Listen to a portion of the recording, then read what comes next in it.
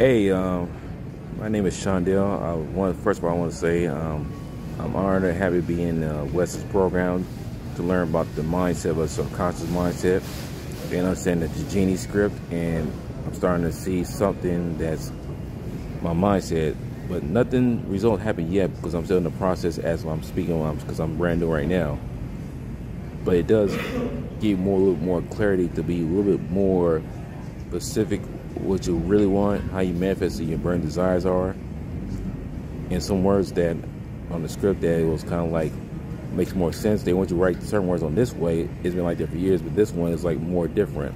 So I see a huge difference. So it's very, very similar, but by this one I had a little more clarity.